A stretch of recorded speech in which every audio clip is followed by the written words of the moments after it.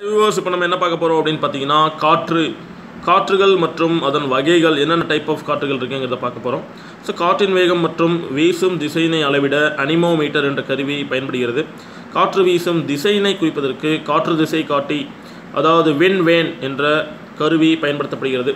கிடைமட்டமாக நகரும் வாயுவானது காற்று என அழைக்கப்படுகிறது. பொதுவாக காற்றானது உயரழுத்த பகுதியிலிருந்து தாழ்வழுத்த பகுதியை நோக்கியே வீசுகின்றது.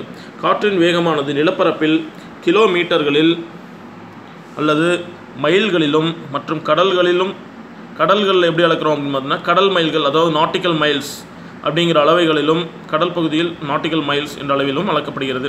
ஸோ பூமியின் மீது நகரும் பொருட்கள் அனைத்தும் காற்று மற்றும் பேராளி நீரோட்டங்கள் உட்பட புவி சுழற்சியின் காரணமாகவே வட கோலத்தில் வளப்புறமாகவும் தென்னரை கோளத்தில் தென்புறமாகவும் இடப்புறமாகவும் விலகிச் செல்கின்றன. இந்த மாற்றமில்லாத விதி ஃபெரல் விதி அல்லது கொரியாலிசிஸ் விசை என்று அழைக்கப்படுகிறது ஸோ காற்றின் வகைகள் பார்த்தீங்கன்னா காற்று உருவாகும் இடம் மற்றும் வீசும் காலம் ஆகியவற்றை அடிப்படையாக கொண்டு கீழ்க்கண்டவாறு வகைப்படுத்தப்படுகிறது. காற்றுகளில் கோல் காற்றில் மூணு டைப் இருக்குது வியாபார காற்று மேலை காற்று மற்றும் துருவக்காற்று பருவகால மற்றும் பகுதி நேர காற்று பார்த்தீங்கன்னா பருவக்காற்று நிலக்காற்று கடல் காற்றுன்னு மூன்று வகைப்படும். தலக்காற்றுகள் இது வெவ்வேறு இடங்களில் வெவ்வேறு பெயர்களில் அழைக்கப்படும். மாறும் காற்றுகள் அப்படிங்கிறதுக்கு எடுத்துக்காட்டு சூறாவளிகள் அல் மற்றும் எதிர் சூறாவளிகள். ஸோ முதல்ல கோல் காற்று டைப்பில் ஒவ்வொரு டைப்பாக பார்த்துருவோம். கோல் காற்றுகள் ஆண்டு முழுவதும் ஒரு குறிப்பிட்ட திசையை நோக்கி வீசும் காற்றுக்கு கோல் காற்று அப்படின்னு பேர். முதன்மையான கோள்காற்றுகள் என்னென்னு பார்த்தீங்கன்னா வியாபார காற்றுகள் அயனமண்டலுக்கு இடையே வீசுகின்றன. இந்த வியாபார காற்றுகள் இவை வட கோலத்தில் வடகிழக்கு வியாபார காற்றாகவும் தென்கோளத்தில் தென்கிழக்கு வியாபார காற்றாகவும் வீசுகிறது. வரலாற்று காலங்களில் கடற்பயணம் மேற்கொள்பவர்களுக்கு இவை மிகவும் பயனுள்ளதாக இருந்ததால் இவை கோல் காற்றுகள் என்று அழைக்கப்பட்டது. இவ்வகையான காற்றுகள் சீரானதாக மற்றும் நிலையானதாகவும் குறிப்பாக கடற்பரப்பிலும் வீசக்கூடியது. ஃபெரல் விதியின்படி இவ்வகையான காற்றானது விலகி வீசுகின்றது. மேலை காற்றுகளானது இரு கோலங்களிலும் துணை அயன மண்டல உயரழுத்த பகுதியிலிருந்து துணை துருவ தாழ்வழுத்த பகுதியை நோக்கி வீசுகின்றது. வடகோளத்தில் தென்மேலை காற்றுகளாகவும் மற்றும் தென்கோளத்தில் வடமேலை காற்றுகளாகவும் வீசுகிறது. புவியின் சுழற்சி காரணமாக இவ்வகையான காற்றுகள் மேற்கிலிருந்து கிழக்காக வீசுகின்றன.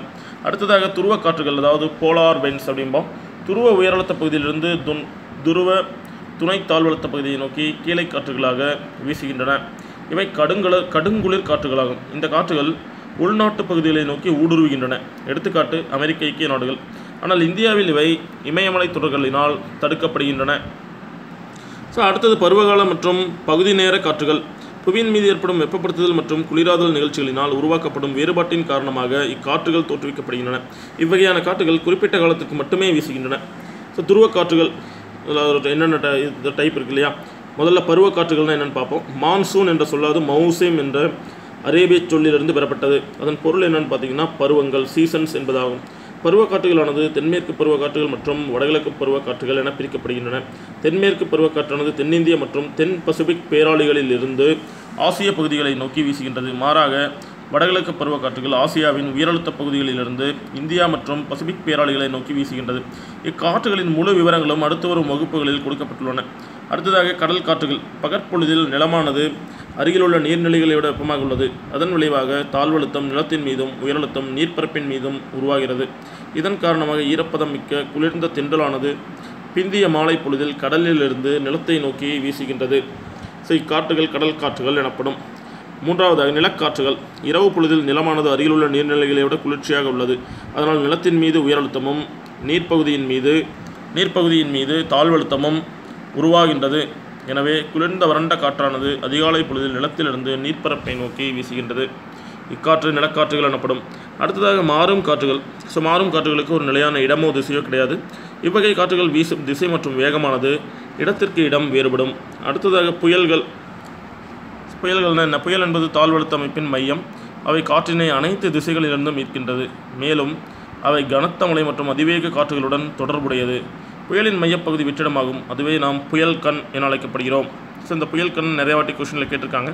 இவை உருவாகும் இடம் மற்றும் அமைவிடத்தை பொறுத்து புயல் காற்று டைஃபூன்கள் மற்றும் அரிக்கேன்கள் என அழைக்கப்படுகின்றன. அவை வடகோளத்தில் எதிர் கடிகார சுற்று திசையில் திசையில் நகர்கின்றன. அதேபோல் தென்கோளத்தில் கடிகார சுற்றாகவும் நகர்கின்றன. இந்த தாழ்வழுத்த அமைப்பு நீர்ப்பரப்பில் உருவாகும் போது அவை மிகவும் வன்மையானதாகவும் மற்றும் மழைப்பொழிவையும் உருவாக்குகிறது. ஸோ எதிர் சூறாவளிகள் அப்படின்னா என்ன? எதிர் சூறாவளிகள் என்பது உயரழுத்த அமைப்பின் மையமாகும். இங்கிருந்து காற்று வெளிதிசையை நோக்கி நகர்கிறது. இவை தெளிவான வானிலையோடு தொடர்புடையதால் மழைப்பொழிவை கொடுப்பதில்லை. எதிர் சூறாவளிகள் வடகோளத்தில் கடிகார சுற்று திசையிலும் தென்கோளத்தில் எதிர் கடிகார சுற்று திசையிலும் நகர்கின்றன. பெரும்பாலும் இவை நிலப்பரப்பின் மேல் உருவாவதால் அவை வறண்டே காணப்படுகின்றன. அடுத்ததாக தலைக்காற்றுகள். தலைக்காற்றுகள் ஒரு சிறிய பரப்பளவில் குறுகிய காலத்திற்கு சில சிறப்பான குணாதிசயங்களோடு வீசுகின்றன. இவ்வகையான அனைத்து காற்றுகளும் பெரும்பாலும் பகுதி நேர காற்றுகளாகவும் தலப்பெயர்களையும் கொண்டுள்ளன. சில தலைக்காற்றுகளின் பெயர்களையும் அதனோடு தொடர்புடைய இடங்களும் இந்த கீழே கொடுக்கப்பட்டுள்ளது.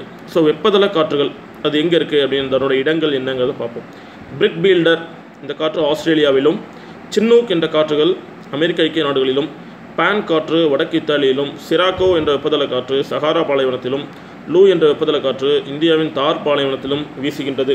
அதே போல் குளிர்தல காற்றுகள் பார்த்தீங்கன்னா ஆர்மத்தான் என்ற காற்று மத்திய ஆப்பிரிக்காவிலும் மிஸ்டல் என்ற குளிர்தல காற்று ஆல்ப்ஸ் மலையிலும் புர்கா என்ற குளிர்தல காற்று ரஷ்யாவிலும் நாட் என்ற குளிர்தல காற்று மெக்சிகோ வளைகுடாவிலும் பாம்பெரோ பாம்பெரோ என்ற குளிர்தல காற்று அர்ஜென்டினாவிலும் வீசுகின்றது.